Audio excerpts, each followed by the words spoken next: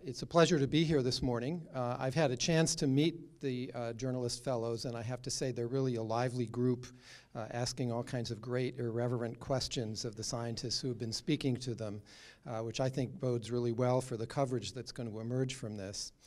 Um, so I'm going to talk a little bit about something that's not maybe your typical story that you get.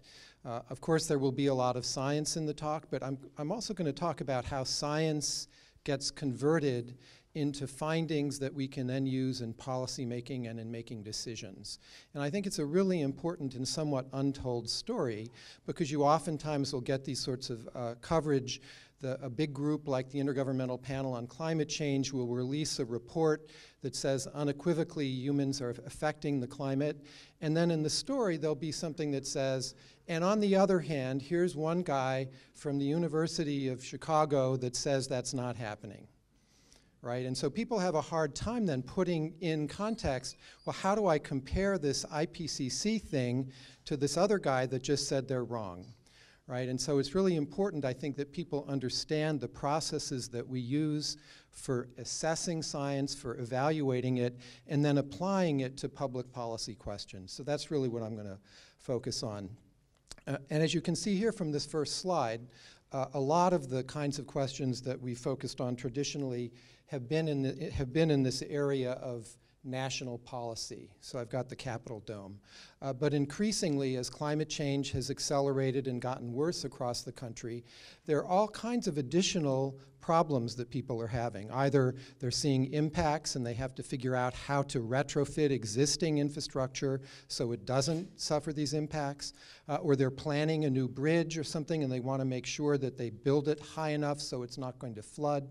Uh, and as you get to these, you know, these other kinds of management issues, uh, that's where you begin to see real challenges in applying climate science. Um, and in particular, what I'm hoping that you'll come away with is some understanding of this project that I'm currently involved in and why it's important. Uh, as Sunshine mentioned, it's about trying to get more people involved in applying climate science and taking advantage of what we do know. Um, as I'll talk about, I was convened, uh, uh I'm, I'm, now at Columbia University. Uh, my normal affiliation at Maryland is through a Department of Energy lab uh, which was not comfortable with me doing the work I'm doing now, so that's why I'm on leave. But we've managed to reconvene this advisory committee, uh, and really it's all about applying what we know to make better decisions, even if the knowledge that we have isn't perfect. Uh, and it's about increasing the role of non-federal scientists in this work. So just as an overview so you can see what's coming, I'm going to give you a little bit of uh, reflection of 2017. Those of you in the audience who are as old as I am might remember a show called That Was the Year That, or That Was the Week That Was. I'm going to sort of present it as That Was the Year That Was. Um, talk about this process of putting together scientific assessments and what's that in, what does that look like, uh, and then thinking about what's next. If we're really working on adaptation, and mitigation as the primary responses to climate change. What's, how does assessment have to change? What, what, what, are we looking at in terms of the need for science? And then finally, some ideas about how you can help. So, 2017. Um, one thing that's kind of notable about 2017, it's the 30, uh, 41st year in a row where the average annual temperature exceeds the 20th century average. And so you can see these little bars down here that have, uh, have appeared uh, starting in 2017. You have to go back to 1976 to find a year where the global average temperature was below the 20th century average. So no one, let no one tell you that this is a couple of odd years that we're having that are a little bit warm. This is part of a really long-term trend. Uh, 2017 happened to be the third warmest year on record. It was actually the warmest non-El Nino year uh, on, on record, uh, and that six of the last years, warmest years on record have occurred since 2010. Uh, I think the fellows have had quite a few of these kinds of slides over the week, but this is saying not only did, was it warm, but we had a record number of climate disasters. This is a figure from the NOAA uh, National Center for Environmental Information, and it just shows the different types of greater than $1 billion weather and climate disasters that occurred during 2017. And this doesn't even include some of the things, uh, some of the uh, damages related to the California fires, which they count in a different way just on their, on their spreadsheets. So they're not sort of si single large events. So this is uh, you have to go back to 2011 uh, to find a year that had as many billion dollar weather and climate disasters. Uh, and then this is a chart from the same source that just shows if you're not counting just the number of events, but actually looking at the costs of those, uh, it was a record year uh, in terms of 306, more than 306 billion total damages. The previous record in 2005 uh, was about 214 billion. So you can see these things are having major effects on the economy, communities, and, the, and this dollar amount, you know, it says here 300 lives lost, more than that.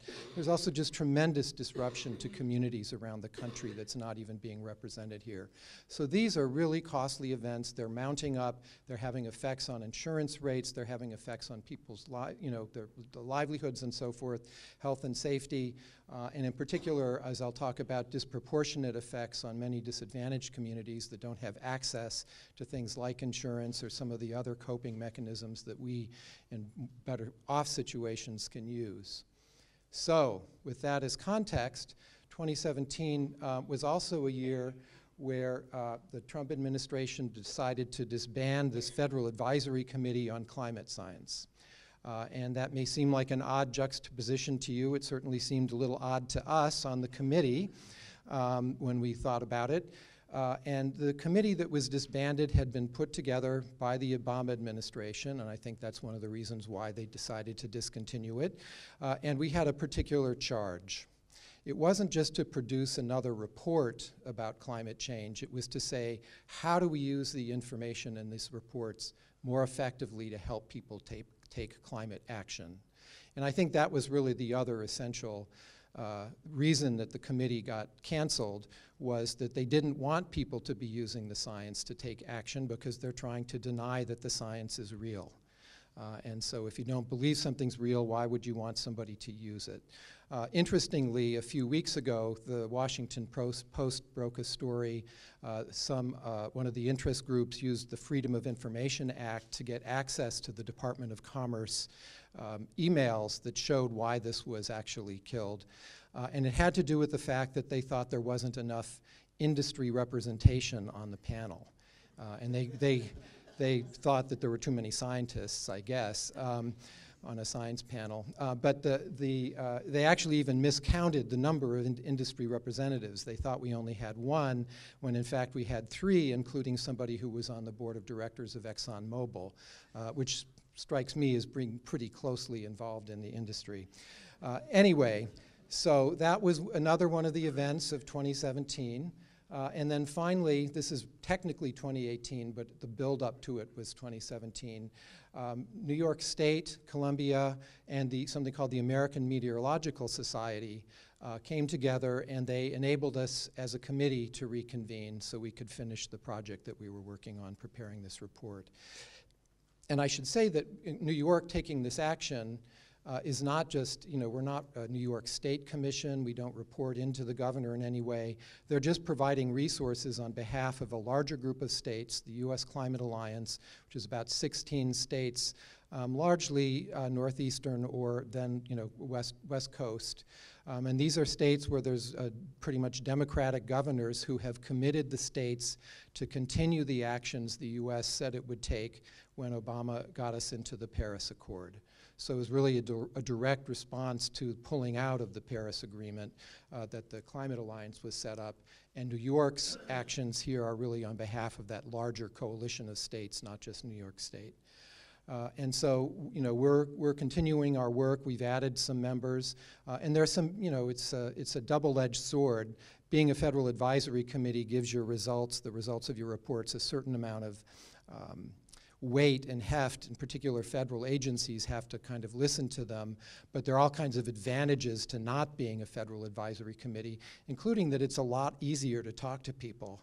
Uh, because when you're on a federal advisory committee, there's somebody called the designated federal official who's always at your shoulder whenever you have a conversation with someone who's not in the federal government, kind of monitoring what information is passed back, back and forth. It makes it a little hard to do your work. Anyway, so that's 2017. That was the year that was. Um, one, one thing I just want to mention about 2017 is that paradoxically, in all of this, the Trump administration is still allowing a major report process to continue. So that by law, the country prepares, the, the, administration every four years prepares a major report on climate change. It's called the National Climate Assessment. I'll be talking about it. And they have not shut that process down. Uh, and some, some of the folks from URI, I think, in fact, are involved in helping to prepare that report. So it's just one of these ironies. While they shut down the committee that's about trying to use the science in the report, they're allowing the report itself to go through. So, assessments. I've, I've used this word assessments, and I want to just talk a little bit about it. Um, uh, assessments are kinds of, they're, they're, major reports. You've heard of things like the Intergovernmental Panel on Climate Change. It's the group that shared the Nobel Peace Prize uh, with Al Gore in 2007. Uh, there's something called the National Climate Assessment. Uh, and there are assessments for other issues like biodiversity loss or ozone depletion. And what these really are are processes in which these groups of people like this, this is just a group of the scientists who are involved as lead authors in one of these processes, will sort through the thousands of articles that are relevant to a particular topic and figure out what they actually say. Uh, we had a discussion this morning in the, with a journalist uh, um, uh, a colleague from Rutgers was presenting a, a, really great presentation on climate science and said that one of her articles had been attacked by some of her colleagues because it got a lot of play in the press and they didn't feel all the kinks had yet been worked out of it these kinds of assessment processes are really the opportunity for the science community to come together, look at all this, and say, what's the best information that we can glean from these sorts of studies that we see? And so you will find them looking at thousands of different articles and reports. It's a very time consuming process. Um, they take multiple years. I, I uh, as uh, Sunshine mentioned, I was the director of the technical support group for one of these reports done by the Intergovernmental Panel on Climate Change. I can tell you it's a lot of work. Uh, but fascinating. You meet great scientists, you meet great people. Uh, and the, you know, the way the process works essentially is that there's, uh, governments agree to an outline here's what we want to know. And the scientists go off and start to prepare drafts. They'll put together a first draft that gets reviewed just by experts. They'll put together a second revised draft that then gets reviewed by governments, non-governmental organizations, anybody that really wants to. Uh, and it takes a long time. Um, and the scientists are volunteering their time for this. You'll hear, that, you'll hear a lot of uh, stories that I think are not accurate that say people, they do this because they get paid. Most scientists who do this do not get paid. It's considered to be a community service, and so they do it on top of their teaching and other, other research. Um, the thing about these processes that are limiting about them is that the public doesn't really have access to it.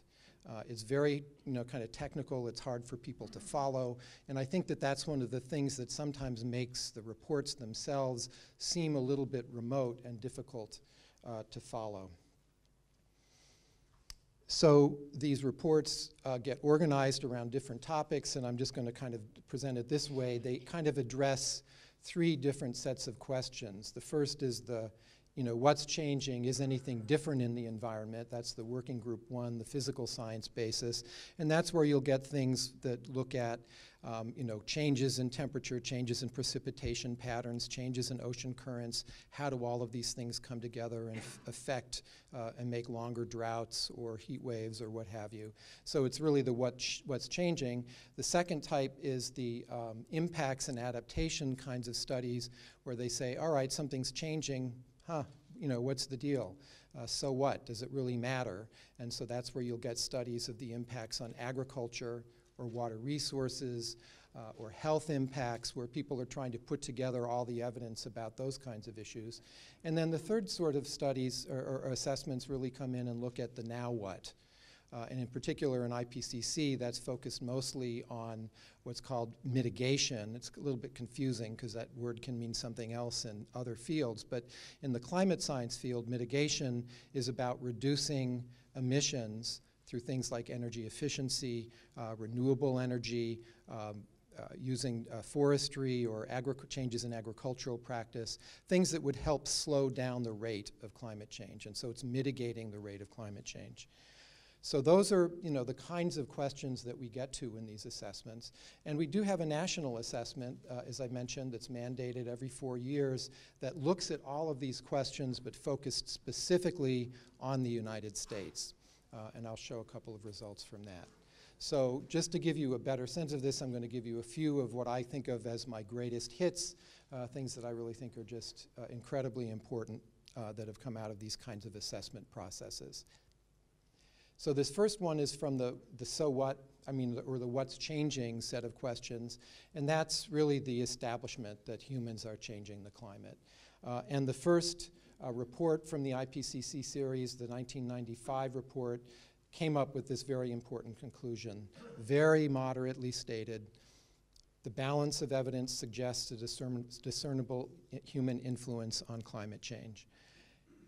And the, the amount of work that went into this, huge amounts of statistical analysis looking at multiple lines of inquiry and data, uh, borehole readings, uh, different kinds of temperature records, ocean uh, heat content, ocean surface temperature, all these different sorts of records. And what you can do is establish kind of a fingerprint of change because not everything is causing warming. You've heard some of the particles that are emitted into the atmosphere ca cause cooling.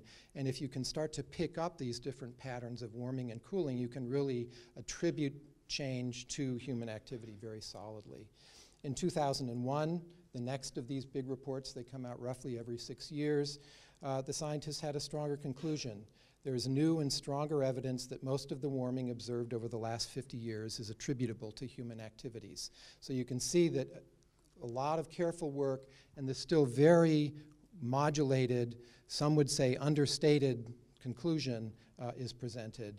And then the 2007 report most of the observed increase in globally average temperatures since 1950s is very likely, in other words, a greater than 90% chance that's due to the observed increase in anthropogenic greenhouse gases.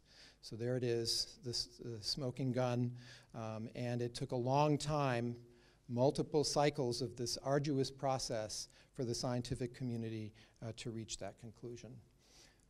So this is a result from the second set of studies, the working group two ones on impacts. And this is not using model results. This is the so what looking at impacts that have been observed around the world. And you have no idea how long it takes to put together a simple graphic like this, but this is representing dozens of different studies from around the globe that have been calibrated together uh, to show uh, the impacts on, first is the sort of uh, physical climate systems, so these would be things like changes in hydrology or water resources, changes in snowpack, uh, things like that. In biological resources in the green, so either terrestrial ecosystems or fisheries, and then the red is human systems. And these little bars represent the level of confidence in the studies that the scientists have said, how confident are we that human activity are causing what we're seeing? So it takes, you can imagine, it takes a huge amount of time to put together something like this. It's really something that you can do best in one of these big assessment processes where you bring together multiple authors of different kinds of studies. Um, and then the third set, uh, again, I think the fellows may have seen some of this analysis. This is that last set. This is the what do we do about it. Um, and what this chart is showing is the concentrations over here of different greenhouse gases. And I guess I'll use the bathtub analogy, which isn't perfect. But if you imagine a bathtub as it fills up, it's getting to higher and higher levels. That's the concentration of greenhouse gases in the atmosphere. And what's causing that buildup is what's coming out of the spigot. In the case of the bathtub, the water. In the case of climate, it's the emissions from our tailpipes, from uh, cutting down forests, land use and land cover change, industry. So it's all these uh, different factors that are related to population, economic uh, growth or affluence, and technology.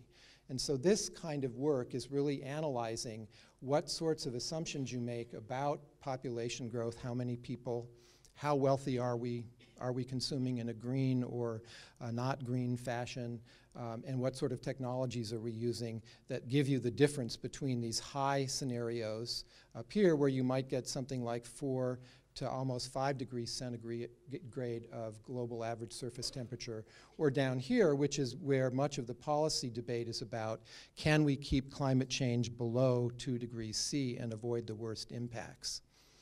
So the important thing about this chart is that it, if you look at this is again these, there's about 900 emission scenarios that were analyzed uh, from different models to put this together.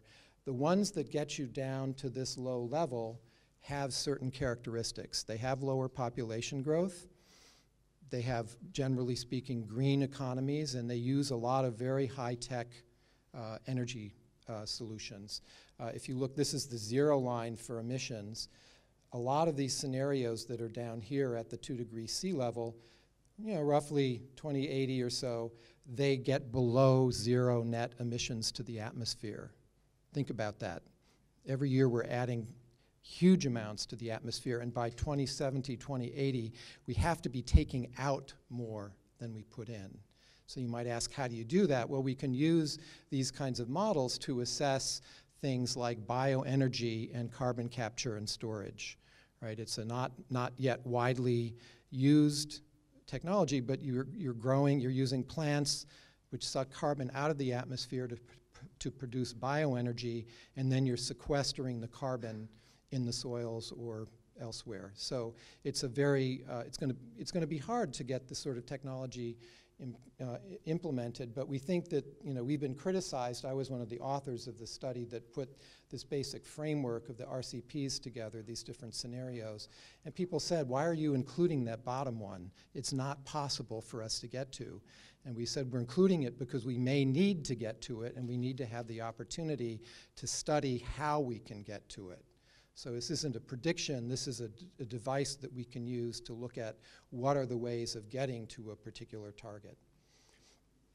So, and this is sort of towards the end of my, um, so, you know, the kind of assessment um, overview, but this is the, just gives you a flavor of the kind of information that comes out of the US National Climate Assessment.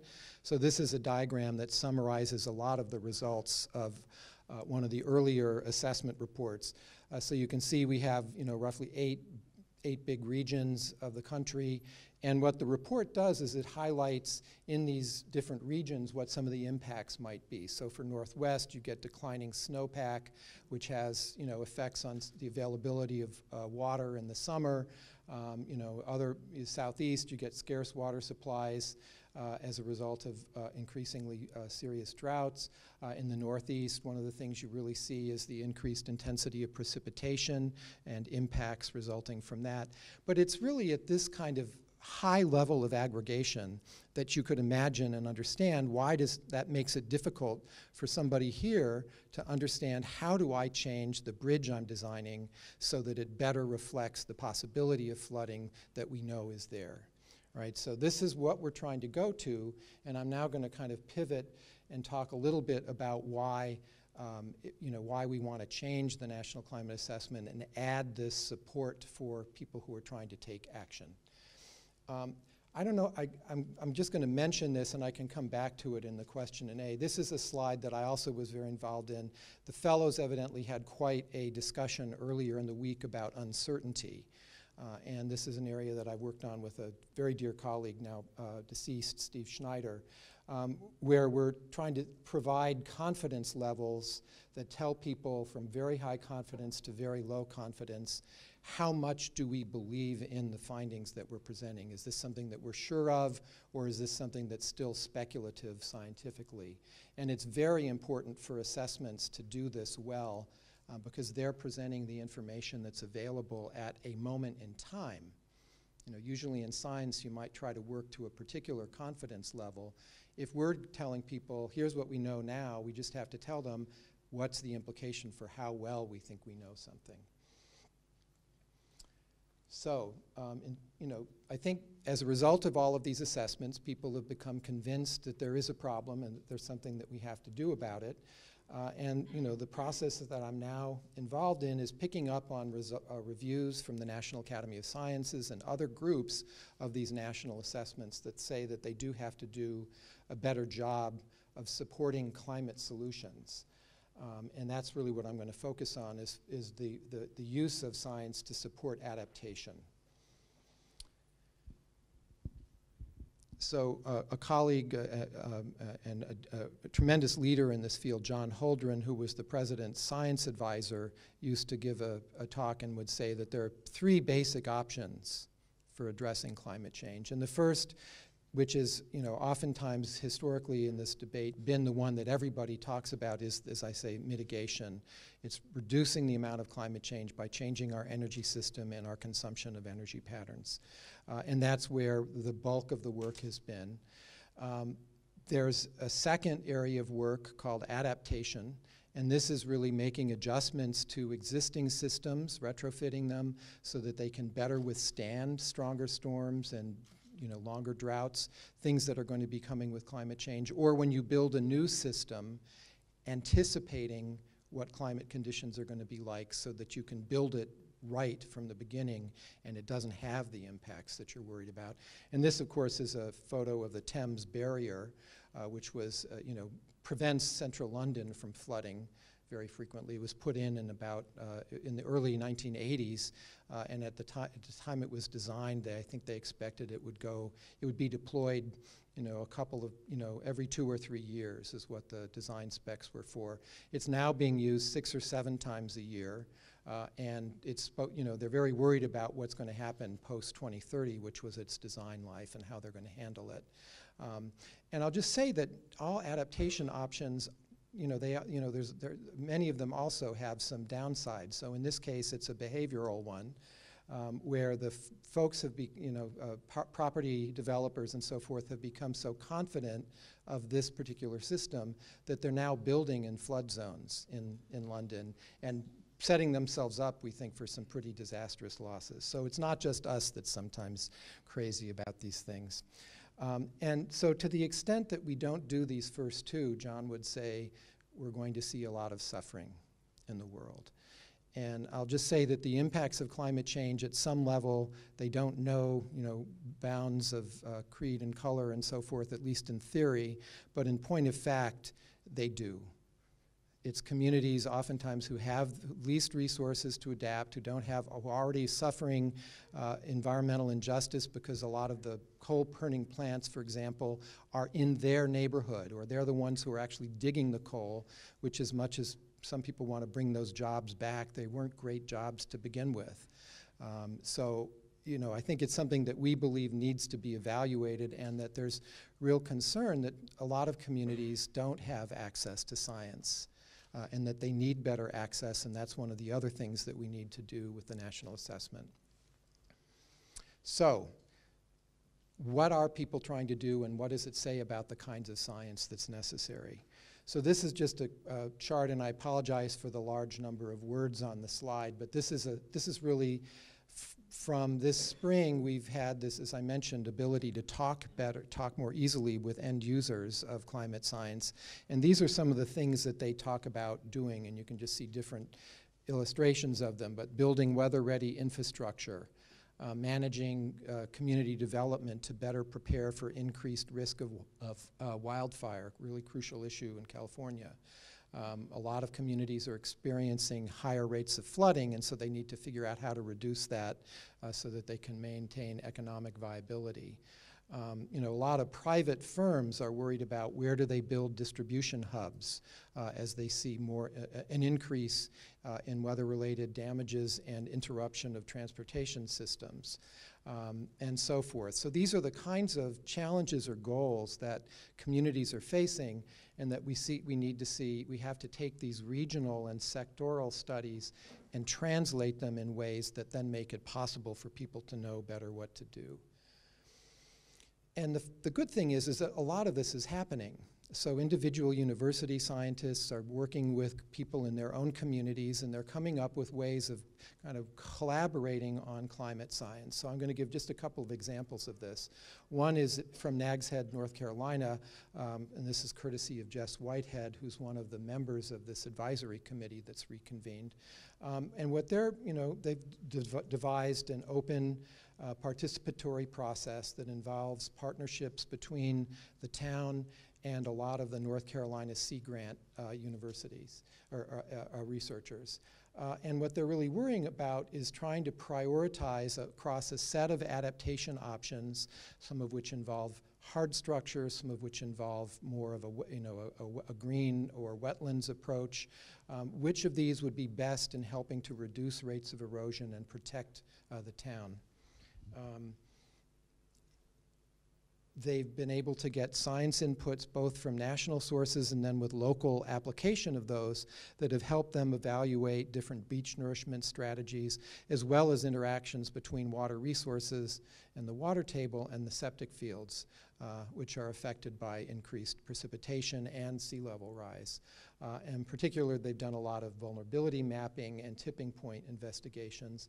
Uh, and they are moving forward with a plan uh, that they now feel is pretty scientifically based, in spite of the fact that the state legislature is one of, is one of these states where they decided they could legislate not to consider climate change uh, and sea level rise.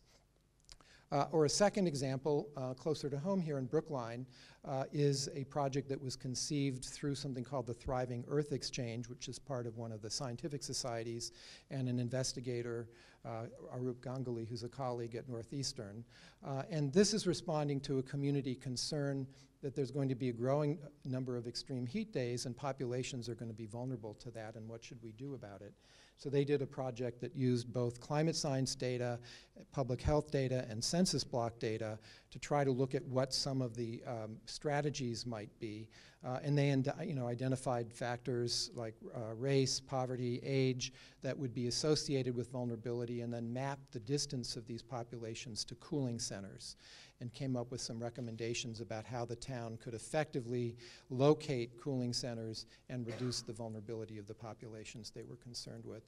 And you know, this it's a really careful and detailed analysis because it includes not just kind of climate change generally, but also looks at things like heat islands, the local conditions uh, related to land use and where buildings are and what types of buildings and impervious pavement and so forth that make heat, uh, heat events worse. So you might ask, if all of this is already happening, what's the role of the National Climate Assessment? Um, you know, particularly how can a national program help provide so much local information? Even, even during the Obama administration, we were never going to be able to serve everybody's needs. It wasn't, it wasn't going to happen.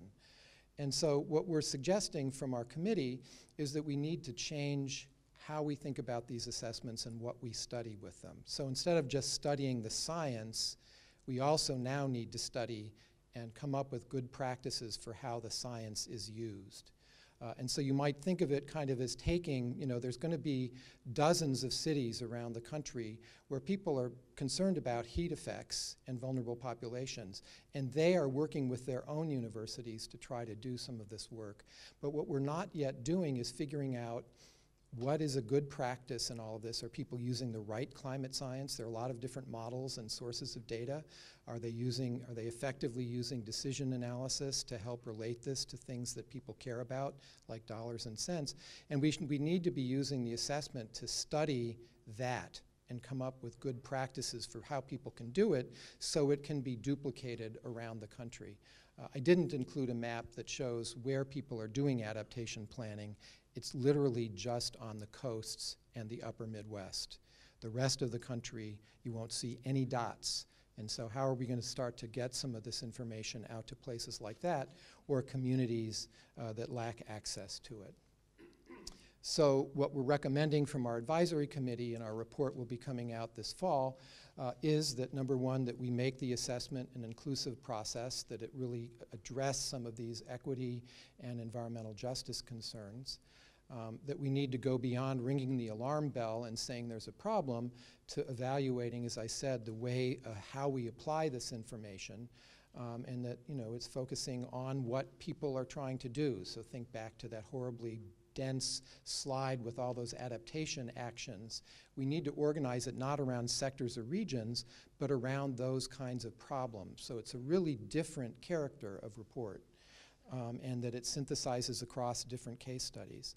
Um, and that there's a lot of things that are missing, the practitioners will tell us, uh, and particularly including things related to uh, financial metrics uh, and helping them use this information in things that they already have permission to do, like capital improvement plans. How do you use some of this information so that when you have a capital improvement plan, you've made sure it's a climate smart capital improvement plan?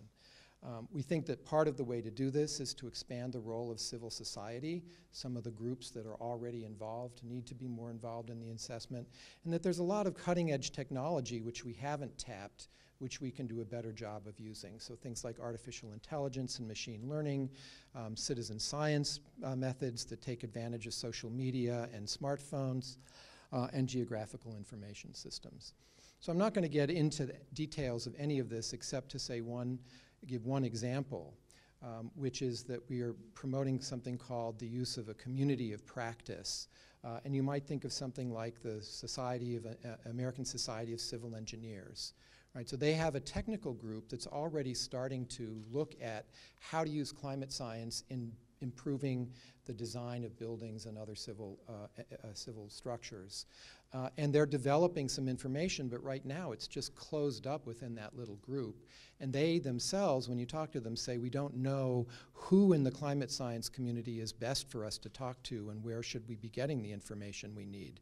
So we can use this process to start to expand that conversation and make it a more effective one. And we think that you know, that sort of thing that's already happening doesn't have to be run by the federal government it can be it can build on the things that are already happening and that's what we when we say a better role for civil society we really just want to take advantage of things that are already happening so um, I won't say much uh, other again to emphasize that we think that the climate change issue is one where climate and environmental justice are really central.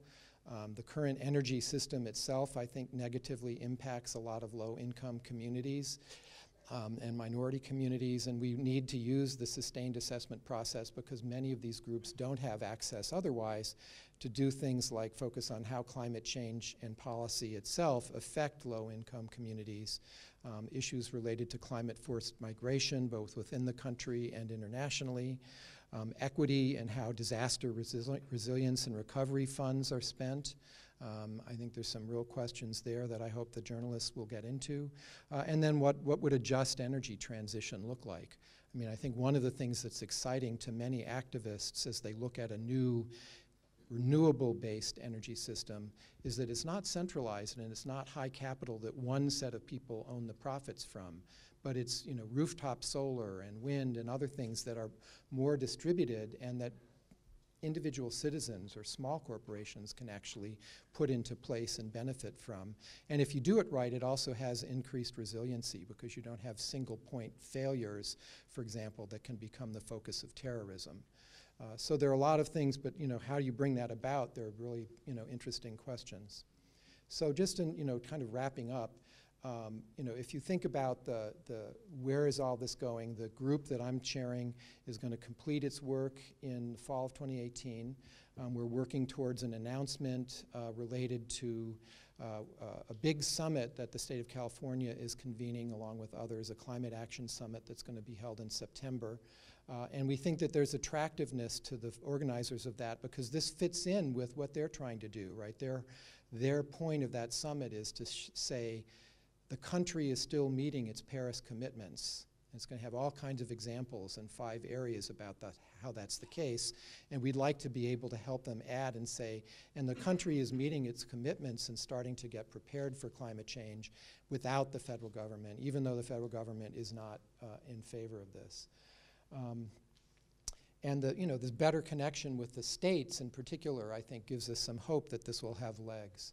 So, you know, I'm always asked, and I think it's always important to talk about, you know, people want to know what can they do, what's the message of hope. And so I don't have, I'm not going to give you my pet ideas about energy efficiency and what you can do. But I think you all, you know, you all belong to different types of groups that have lists like this that are kind of keyed to your own interests and capabilities. And I would go back and look at some of those lists from some of the other organizations and see what kinds of lifestyle type actions you can take. Um, we have a survey up here. It's very easy to find, tinyurl.com climate assessment survey. Um, you could provide some direct feedback to the committee as we're working on this report. It wouldn't take any more than five minutes. Uh, I'm happy to share the link again, but just remember climate-assessment-survey. Um, and you know, I think that there's a lot of those of you who are uh, in, in, in interested in philanthropy and able to do that. Um, we need some startup support. We're running on fumes.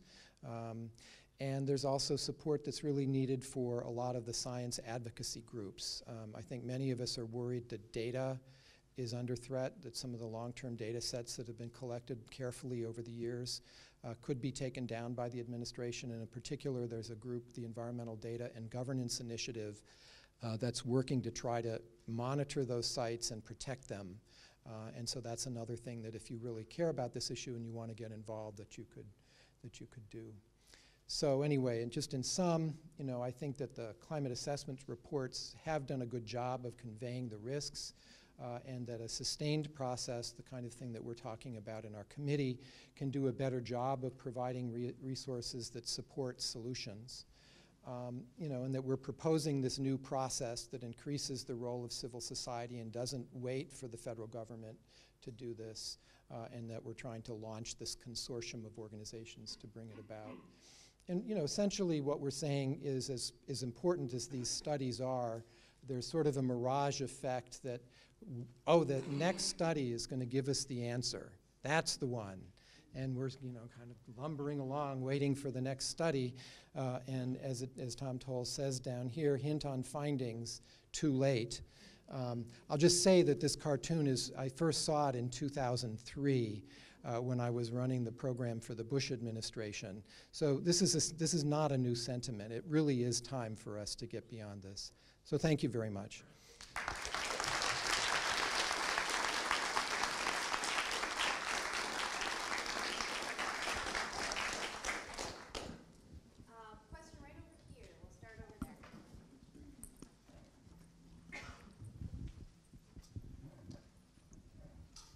Thank you very much for this really informative talk. Uh, my question yesterday to the speaker would have been our decisions on building fossil fuel infrastructure that contributes to climate change as opposed to how climate change affects decisions we make.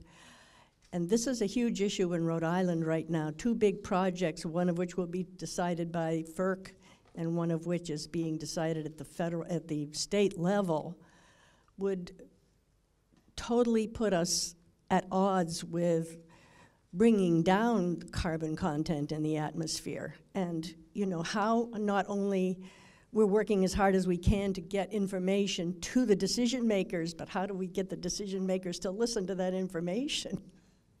Thank you. I mean, that's an age-old problem, and uh, you know, I, I don't know that I'm the right person to give you any insight. I don't, uh, other than to say that I think that we have to, we have to be organized politically. You know, you there's no substitute for political pressure, and uh, you know, the the in this kind of unusual role that I've had, where I'm not a decision maker, but I'm providing information. You know, particularly through the intergovernmental panel on climate change process. There are a lot of stories about you can see governments or interest groups trying to influence things. So in one of my reports, uh, I got, you know, we get comments from all over the world. The governments send them in, and one government from the Persian Gulf sent us their comments, and this was old. I mean, I'm dated enough that this was still being done by fax machines. Um, and uh, the guy forgot to take the cover sheet off. Right, so his, his, he had his cover sheet to me, dear Dr. Moss, here's the comments of Kuwait on the report, and then I turned the page, and the next thing was, Dear Mr. Ambassador, here are your report, here are your comments for the IPCC report, and it was from a fossil fuel lobby. Right? So it's not necessarily the case that these processes, even though we give people the information, that there's a level playing field uh, and that you can count on things that are right being done on the basis just of the facts. So it just to me says that there's got to be constant political organizing and pressure, and there's no way around it. I wish I had, maybe somebody else has a better answer. How can we uh, take all this wonderful information and spread it? It seems to me that I've never heard of your organization, and I certainly haven't seen your report.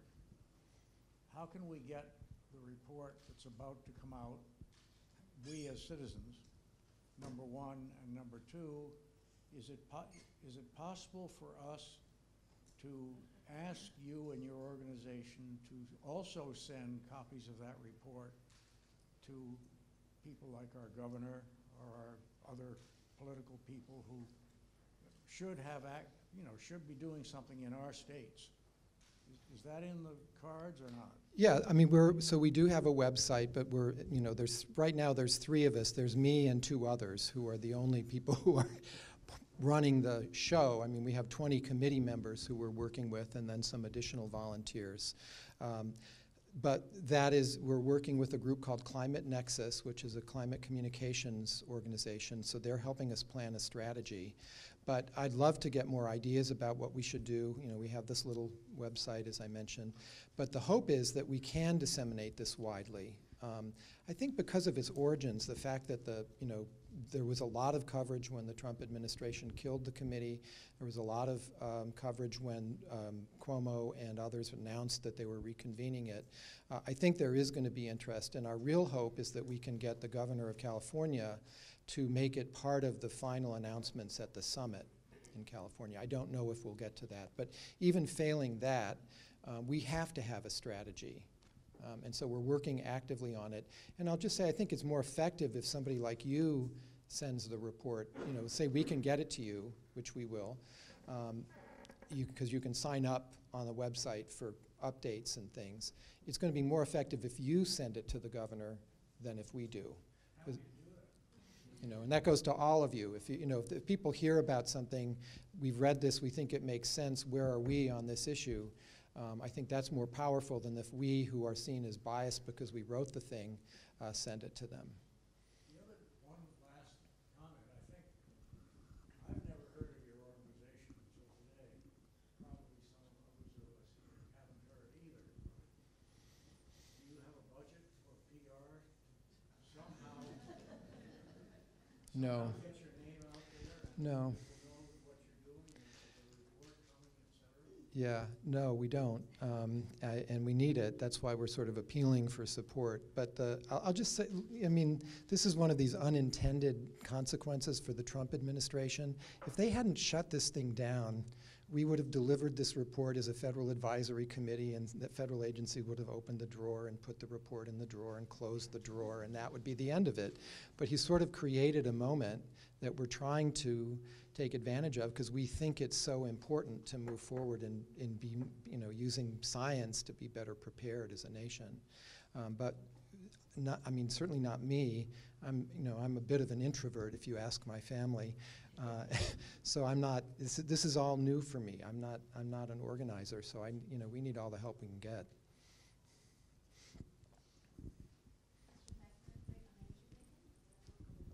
Thanks.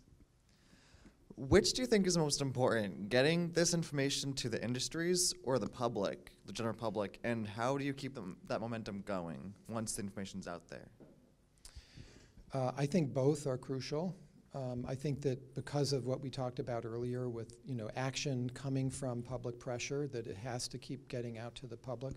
And I think that the climate science community is only just starting to learn how to convey information effectively to the public.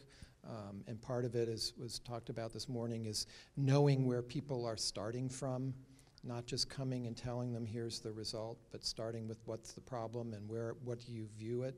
I mean, I've had direct uh, experience, say, on military bases, uh, where we've done some projects to try to help the military base reduce flooding. For example, this was a, a Air Force base uh, that was experiencing a lot of flooding um, because it's along the coast, and they, it was affecting their schedules and their training um, routines and things, and so they wanted to address it.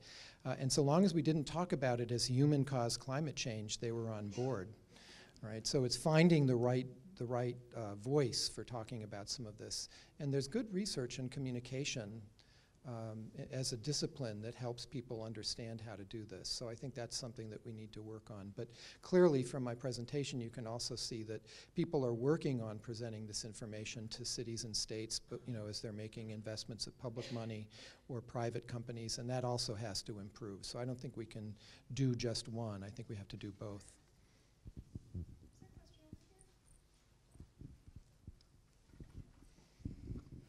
Thanks for a really interesting talk. Uh, to go to your, uh, you're just talking about the military bases. My understanding is at least some parts of the military have fully embraced the fact that climate change is happening, and they're thinking about it both in terms of future engagements as well as where they, where they actually are sited.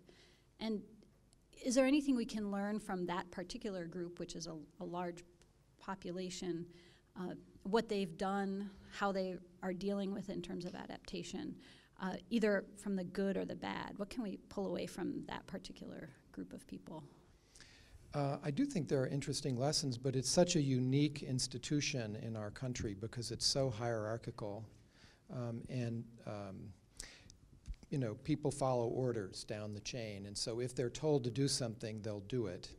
Uh, and so a lot of what's happened was during the Obama administration, there were high level orders from the top down that you will do this. And it affected both energy use. There was a lot of purchasing and requirements and so forth for green energy and green technologies. But also, you will start to do vulnerability assessments so that we understand how our bases and our infrastructure, and military is the biggest public holder of infrastructure in the country, um, how all of that's going to be affected, right? The Government Accountability Office has demanded some of that. So it flows down, but I'll tell you, you know, having done a lot of this work at the level of individual installations, um, there's a lot of resentment of it. You know, people will say, oh, this is just the Al Gore stuff, don't want anything to do with it. Uh, but they have to, and so they'll do it, they'll do the minimum to be able to check the box. So I don't think it's the panacea that we might hope. Um, I do think that there's a lot of, uh, the, you know, General Mattis, I think, is um, you know, thinking about this in the right way. He's not backing down from it. He's not saying climate change. He's not taking a different line than the Obama administration took, which is that climate change is a threat multiplier, uh, and that there is still a lot of high-level attention. But it's not. You know, I, I wish I could say it, it provided the answer. I don't think it does.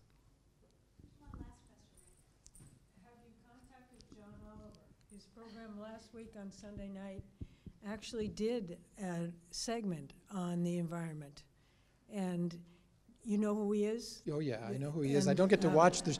I wish I got to watch the show more often. Yes, I'd well, be a happier guy. right, exactly. Um, he's already on board with your thoughts, and, you know, to some extent, you'd be preaching to the choir because the people who watch him already believe what you talk about, but it's a thought. I'll, I'll take it under advisement. I will, I will try to watch the show more often.